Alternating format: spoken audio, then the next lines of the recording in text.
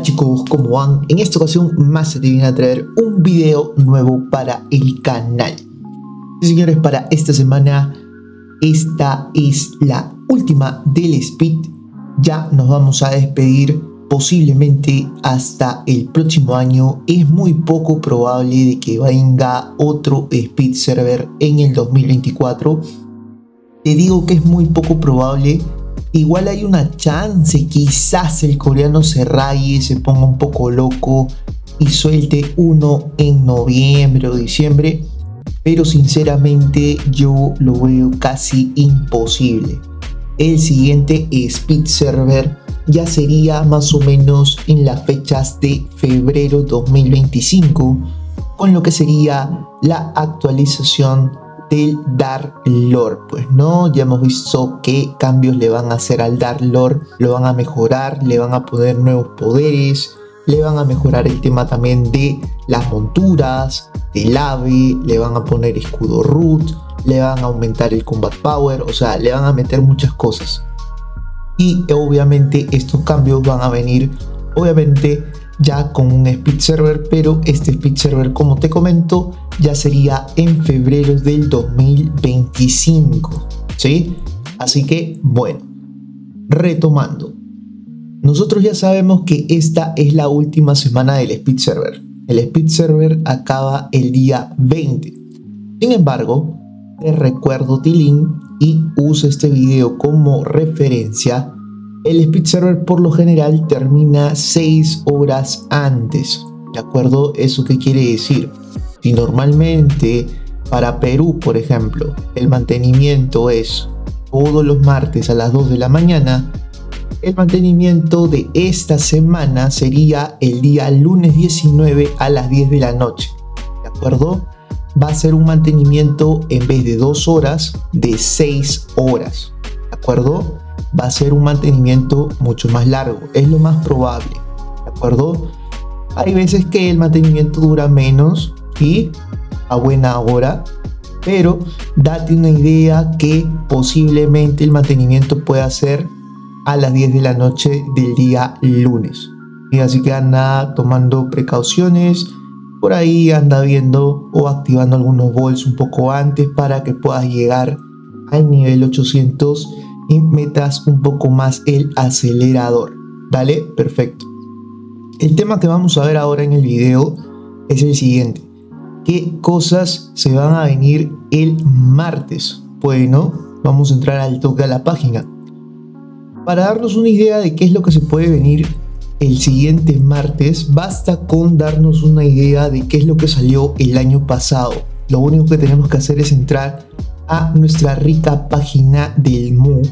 Nos dirigimos a la zona de eventos, ustedes ya saben cómo es esto, avisos, eventos, nos vamos a historial de eventos y en la página 8 está lo que sucedió en la season 18. ¿sí? Más o menos en las fechas de agosto, muy parecida a la fecha que tenemos actualmente. Y vamos a poder ver que hay muchas cosas por descubrir y lo vamos a hacer juntos. ¿De acuerdo? Primero que todo, nuevo mapa. Ustedes ya saben que en el caso del año pasado salió Ignis, pero para este año va a salir el mapa de tormenta. Pues no, este nuevo mapa también trae consigo un nuevo set. El nuevo set que ya sería de nivel 1500, el que es de color azulito, ya se va a estar activando a partir del día 20 de agosto. Así que Tilín anda preparando tu root, anda precomprando ¿no? a todos los farmeros y por ahí ves en market que ya la gente está vendiendo su root. Cómpralo desde ahorita, pero que te lo entreguen después. Es una estrategia bastante clara y bastante firme. Es muy común en realidad. Así que aprovecha. Otro tema que también tienes que ir viendo es la distribución que vas a tener con los TCAs te van a alcanzar los TCAs o no para poder subir tu set a más 11, a más 13 o más 15 en algunos casos o de preferencia vas a dejar tu set en el nivel actual. Eso también vas a tener que evaluarlo. Evento número uno que posiblemente se venda es un evento de experiencia. Esto es casi fijo. Por lo que vemos, tiene una duración de 3 semanas prácticamente vas a aliviar casi un mes de rica experiencia free, así que vamos a empezar con eso desde el día 20. También vamos a tener por ahí quizás un Moon extra. En este caso dieron el Moon del Illusion Knight porque era un personaje nuevo. No sabemos si es que van a dar un Moon de la Grow Lancer, quizás tal vez. Bueno, lo vamos a dejar ahí en stand-by, veremos qué sale. Como ven todos para las personas que no llegaron a subir su rica Lancer, pues bueno, desde el día 20 posiblemente salgan estos eventos, ¿no? Para que puedan subirse una. En el evento 3 lo más seguro es que te empiecen a caer cositas en los últimos mapas, específicamente en el mapa nuevo de Tormenta, para que tú puedas ir juntando y luego reclamar premios súper buenos que los detalles ya lo vamos a ver el otro martes con la información ya actualizada pero te voy dando un adelanto pues no son premios que están orientados a el tema elemental. Todo lo que es elemental rooms pentagramas así como también RTs y todo eso. De acuerdo señores evento 4 y esto es para los free to play el día 20 lo más probable es que salga el evento de poder subir tus ítems Blood Angel hasta más 11 sin que se quemen. Así que chicos, mucha, mucha fe porque bastantes personas me estuvieron preguntando, Mase, Mase, ¿cuándo va a salir este evento? Quiero subir mis armas. Bueno, ruega al señor coreano de que lo activen. Yo creo que sí lo activan, ¿ya? Pero, bueno, con él no se sabe. Así que al menos hay una tentativa, ¿no? Ya como special bonus, por lo general siempre te resetean el fruit decrease. Eso significa que las frutitas que tú le has estado colocando para ir reseteando poco a poco las frutitas de tu personaje en temas de stats las van a reiniciar a cero para que sigas también bajándole y bajándole un poco más. Así que eso es bueno y también otro evento para los free to play. Vas a poder cambiar posiblemente también los sets de tus ricas armas o sets socket totalmente gratis así que anda preparándote porque vas a poder buscar la bonificación especial de tus sets ¿vale?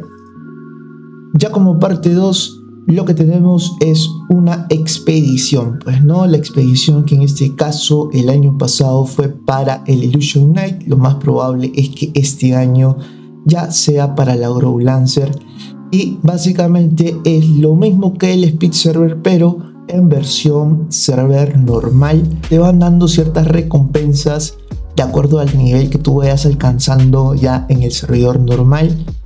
Bueno, digamos que es una forma de poder ayudarte para las personas que no han empezado, pues, ¿no? Así que también está bueno. El tema principal, la ruleta.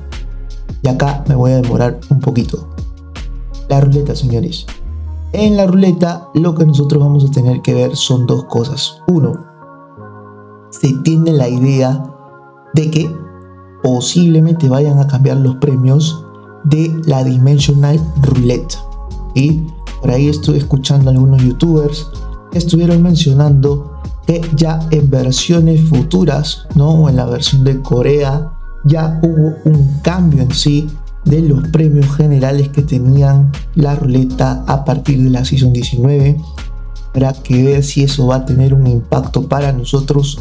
Recuerden que este MU, a pesar de ser el oficial, no comparte de forma estricta todos los cambios que tiene Corea.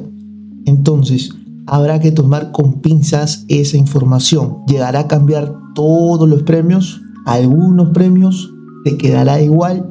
Tendremos que esperar hasta la próxima semana y hacer los comentarios finales. Por el momento solamente hay especulaciones, señores. Punto número 2. El TCA es esta cosita que está acá. Este brodercito es el que nos permite que nuestros ítems no se quemen en la Chaos Machine. Y en las últimas ruletas estuvo con un drop horrible, asqueroso, totalmente odiado. Sí, y digo odiado porque hubieron un sinfín de quejas con la cantidad de TCAs que estuvieron recibiendo jugadores de todo el mundo. Sí, señores, de todo el mundo. Las quejas fueron de que estuvieron recibiendo una cantidad muy inferior a la regular. Así que vamos a ver si es que esa tendencia sigue o si ya se normalizó. Así que eso también lo vamos a ir analizando a partir de la próxima semana. ¿De acuerdo, señores? Ya como parte final, el tema que posiblemente veamos la próxima semana va a ser obviamente lo relacionado a los Goblin Points, porque sin los Goblin Points no puedes jugar tu ruleta, pero también la posible salida de los packs All in One. Y los All in One van a salir posiblemente a partir de la próxima semana. Así que si tú Tilín quieres empezar a aliviar o tienes pensado subir esa rica Grow Lancer que acabas de sacar del Speed Server, pues bueno, anda juntando tus moneditas, tus coins y anda preparándote porque es muy probable que estos paquetes salgan y créeme que estos paquetes son los mejores los indicados, los GOATs, para que tú te pongas a alegar de una forma totalmente exquisita, suculenta y deliciosa a cualquier personaje que tú quieras. ¿Vale? Básicamente esas fueron las noticias para el día de hoy. Fue más que todo un resumen de lo que posiblemente salga a partir de la próxima semana. Prepárate, Tilín, porque desde el día 20 van a venir un montón de cambios. Te despide tu amigo Mase, no te olvides de dejar tu like, compartir y dejar tu comentario. Hasta luego.